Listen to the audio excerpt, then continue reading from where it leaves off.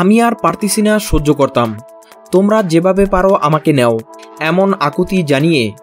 Saudi আরবে নির্যাতনের শিকার হুসনা আক্তার দেশে তার স্বামীর কাছে একটি ভিডিও বার্তা পাঠিয়েছেন। স্বামী শফিউল্লাহ সেই ভিডিও বার্তা সামাজিক যোগাযোগ মাধ্যম ফেসবুকে প্রকাশ করেছেন। হোসনার বাড়ি হবিগঞ্জের আজমিরিগঞ্জ উপজেলার আনন্দপুর গ্রামে। আর্থিক সচ্ছলতা আনতে গৃহকর্মীর কাজ নিয়ে সৌদি আরবে যান সাত নভেম্বর। আরব ওয়ার্ল্ড ডিস্ট্রিবিউশন নামের একটি এজেন্সি তাকে গৃহকর্মীর চাকরি দিয়ে সেখানে পাঠায়। সৌদিতে গৃহকর্তা নির্যাতন সহ্য করতে না পেরে স্বামী শফিউল্লার কাছে হোসনা একটি ভিডিও বার্তা পাঠান। সেখানে তিনি বলেন, আমি মোসাম্মদ হোসনা আক্তার।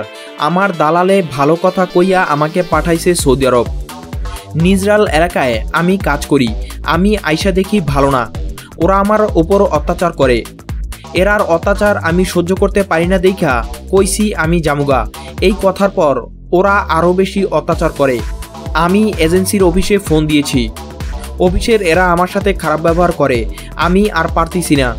তোমরা যেভাবে পারো, আমাকে বাঁচাও। এরা আমাকে বাংলাদেশে পাঠাইতে চায় না। এরা আমাকে ইতা করতাছে। আমারে ভালা কামের কথা কইয়া পাঠাইছে দালালে। আমারে ইতা করতাছে ওরা। আমি আর পারতেছি না সহ্য করতাম। তোমরা যেভাবে পারো আমাকে নাও।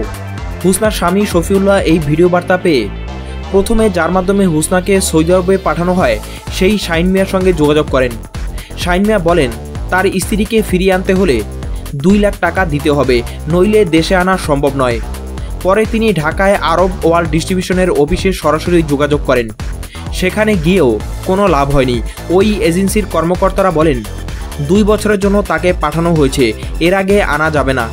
এর আগে দেশে আনতে হলে দুই লাখ টাকা এজেন্সিকে দিতে হবে, কারণ তার চুক্তি দুই বছর। চুক্তি অনুযায়ী তাকে সেখানে অবস্থান করা লাগবে।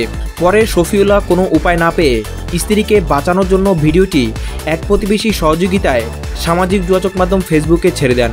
তিনি বলেন, বিয়ের তিন মাসের মাথায় পরিবারকে সহযোগিতা করার জন্য সৌদি আরবে যাওয়ার সিদ্ধান্ত নেন তার স্ত্রী হুসনা আক্তার। সেই অনুযায়ী হবিগঞ্জের মধ্যসত্ত্বভোগী শাহিন মিয়া নামের এক ব্যক্তির মাধ্যমে সৌদি আরব পাঠানো হয় হুসনাকে। শাহিন আরব ওয়ার্ল্ড ডিস্ট্রিবিউশন নামে একটি এজেন্সির মাধ্যমে। গৃহকর্মীর কাজ দেখিয়ে বাইশ হাজার টাকা বেতনে তাকে সৌদিতে পাঠায়। হোসনা সৌদি আরবে যাওয়ার এক সপ্তাহ পর তাকে ফোনে জানান, সেখানে নানা নির্যাতন করা হচ্ছে তাকে। এ বিষয়ে আরব ওয়ার্ল্ড ডিস্ট্রিবিউশনের কার্যালয়ে মুঠোফোনে যোগাযোগ করে হুসনা বেগমের প্রসঙ্গ তুলতেই প্রতিষ্ঠানের কর্মকর্তা ফোন কেটে দেন। এরপর একাধিকবার যোগাযোগের চেষ্টা করলেও কেউ ফোন ধরেননি। হবিগঞ্জের জেলা প্রশাসক মোহাম্মদ কামরুল হাসান বলেন, নির্যাতনের শিকার ওই নারী পরিবার প্রশাসনের সঙ্গে যোগাযোগ করেনি। সৌদিতে ওই নারী কোন জায়গায় আছেন, তার সঠিক নাম ঠিকানা দিতে পারলে অবশ্যই তিনি মন্ত্রণালয়ের মাধ্যমে তাদের সহযোগিতা করতে পারবেন। সম্পত্তি দিয়ে দেব কিন্তু মাকে ছাড়ব না বললেন এরিক এরশাদ। বাংলাদেশ জাতীয় পার্টির প্রয়াত চেয়ারম্যান হোসেন মোহাম্মদ এরশাদের ছেলে এরিক এরশাদের দেখভাল নিয়ে টানাপোড়েন শুরু হয়েছে। তার মা বিদিশা সিদ্দিক এবং এরশাদের গঠিত ট্রাস্টি বোর্ডের মধ্যে। তবে এরিক নিজেই আবারও মায়ের সঙ্গে থাকার কথা বললেন।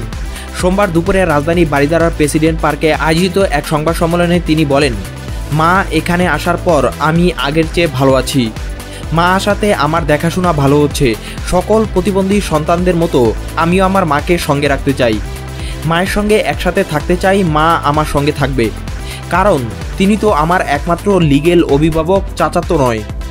আরেক প্রশ্নের জবাবে এরিক এরশাদ বলেন, এখন সবাই চাচ্ছে আমি মাকে নিয়ে বাড়ি থেকে বের হয়ে যাই। কিন্তু সবাইকে আমার চাচা এবং খালেদ সাহেবকে বলতে চাই, সম্পত্তি চাইলে দিয়ে দিব, কিন্তু মাকে ছাড়তে পারব না। উল্লেখ্য, গেল সপ্তাহে সোমবার বিদিশার সাথে এসেই এরিক নিজে গুলশান থানায় উপস্থিত হয়ে এ বিষয়ে একটি সাধারণ ডায়েরি করেছিলেন, যেখানে এরিক তার বাবার বাড়িতে মা বিদিশাকে রাখতে চাওয়ার কথা জানান। এমপি বুবলিকে আওয়ামী লীগ থেকে বহিষ্কার।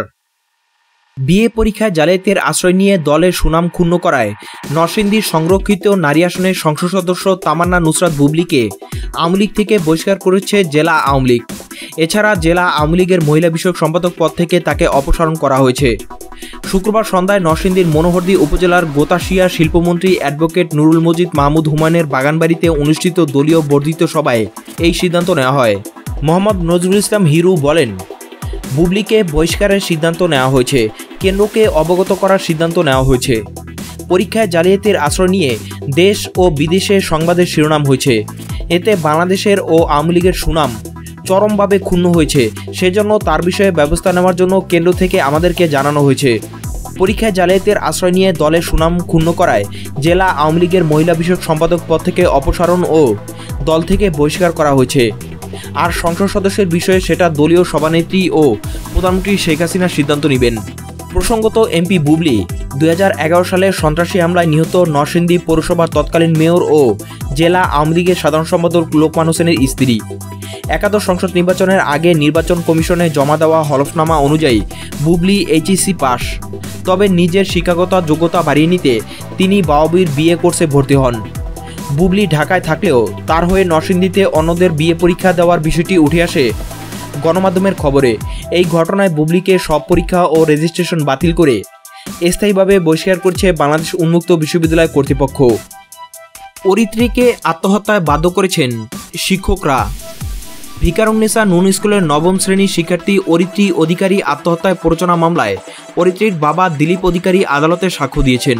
সোমবার ঢাকার তৃতীয় অতিরিক্ত মহানগর দায়রা জজ রবিউল আলমের আদালতে তিনি এই সাক্ষ্য দেন। সাক্ষ্য গ্রহণ শেষে আসামি পক্ষের আইনজীবীরা তাকে জেরা করেন। তবে এ জেরা শেষ না হয় আদালত দোসরা ফেব্রুয়ারি পরবর্তী জেরা ও সাক্ষ্য গ্রহণের জন্য দিন ধার্য করেন। আদালতে দিলীপ অধিকারী বলেন, অরিত্রী খুব ভালো স্টুডেন্ট ছিল। কোনোদিন তার জন্য আমাকে স্কুলে যেতে হয়নি। চোদ্দ বছরের মেয়ের সামনে তার বাবা মাকে অপমান করেছে শিক্ষকরা। বাবা মার অপমান সহ্য করতে না পেরে অরিত্রী আত্মহত্যা করেছে। আমার সন্তানকে পৃথিবী ছেড়ে চলে যেতে বাধ্য করেছেন তারাই। তিনি বলেন, দোসরা ডিসেম্বর ভুলবশত অরিত্রী বাসার ব্যবহৃত মোবাইল ফোন স্কুলে নিয়ে যায়। সেদিন তার সমাজ পরীক্ষা চলছিল।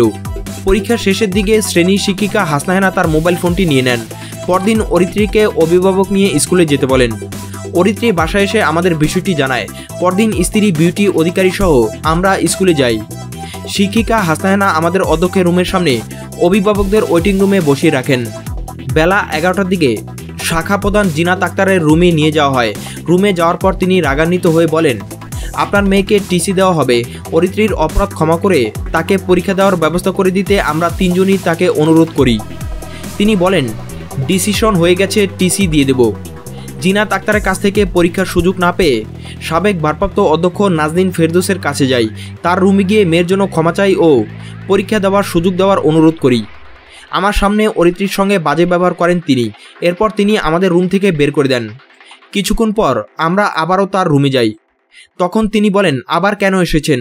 এর কিছুক্ষণ পর লক্ষ্য করি অরিত্রী সেখানে নেই। তিনি আরও বলেন, স্কুলে খোঁজাখুঁজি করে না পেয়ে বাসায় চলে আসি। এসে দেখি অরিত্রী বাসায়। দুপুর একটার দিকে আমি বাসা থেকে বের হয়ে যাই।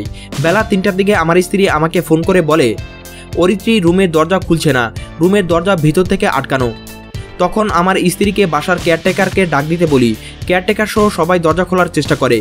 পরে ভেন্টিলেটর দিয়ে কেয়ারটেকার রুমের ভিতর ঢুকে দেখেন, অরিত্রী সিলিং ফ্যানের সঙ্গে ওড়না পেঁচিয়ে ঝুলন্ত অবস্থায় আছে। প্রথমে তাকে কাকরাইল ইসলামিয়া হাসপাতালে নেওয়া হয়। পরে ঢাকা মেডিকেল কলেজ হাসপাতালে নেওয়া হলে চিকিৎসক অরিত্রীকে মৃত ঘোষণা করেন। সাত অক্টোবর ভিকারুন্নিসা নুন স্কুলের নবম শ্রেণির শিক্ষার্থী অরিত্রী অধিকারী আত্মহত্যা প্ররোচনা মামলায় প্রতিষ্ঠানটির ভারপ্রাপ্ত অধ্যক্ষ সহ দুই শিক্ষিকার বিরুদ্ধে চার্জ গঠন করে আদালত। এর আগে আঠারোই মার্চ মামলার তদন্তকারী কর্মকর্তা ডিবি পুলিশের পরিদর্শক কাজী কামরুল ইসলাম আদালতের মামলার চার্জশিট দাখিল করেন। চার্জশিটে ভারপ্রাপ্ত অধ্যক্ষ নাজনীন ফেরদুস ও শাখা প্রধান জিন্নাতারাকে আসামি করা হয়। চার্জশিটে আঠারো জনকে সাক্ষী করা হয়েছে। কাশ্মীরে তিন বাহিনীর স্পেশাল ফোর্স মোতায়েন ভারতের। কাশ্মীরে সেনা, নৌ ও বিমান বাহিনীর স্পেশাল ফোর্স মোতায়েন করেছে ভারত সরকার। এনডিটিভির খবরে বলা হয়েছে, যৌথ সন্ত্রাসবিরোধী অভিযানে অংশ নেবে এসব বাহিনী। প্রতিরক্ষা বিভাগের সিনিয়র এক কর্মকর্তার বরাদ দিয়ে বার্তা সংস্থা এএনআই জানিয়েছে ভারতীয় প্রতিরক্ষা মন্ত্রণালয়ের নবগঠিত সশস্ত্র বাহিনীর বিশেষ অভিযান বিভাগের অধীনে সেনাবাহিনীর প্যারা নৌবাহিনীর মেরিন কমান্ডস ও বিমান বাহিনী গার্ডস নামের তিন বিশেষ বাহিনীর সদস্যদের মোতায়েন করা হয়। শ্রীনগরের কাছে সন্ত্রাসীদের আখড়া বলে পরিচিত এমন এলাকায় এরই মধ্যে তিন বাহিনীর সমন্বয়ে আর্মি প্যারা এর সদস্যরা কাজ শুরু করে দিয়েছে। আর খুব তাড়াতাড়ি পূর্ণোদ্যমে নামানো হবে মার্কোস এবং গার্ডসদের ওই সূত্রের উদ্বৃত্তি দিয়ে আরও বলা হয়, যদিও কাশ্মীর উপত্যকায় নৌবাহিনীর মার্কোস এবং বিমানবাহিনী গার্ডসের ছোট ছোট দল এরই মধ্যে অভিযান পরিচালনা করছে। তবে এবারই প্রথম এই তিনটি স্পেশাল সার্ভিসকে যৌথভাবে মোতায়েন করা হচ্ছে। উল্কার লেক এলাকায় মোতায়েন করা হচ্ছে মার্কোস। লোলাব এলাকা ও হাজিন এলাকায় অপারেশন নামানো হয়েছে গার্ডসকে।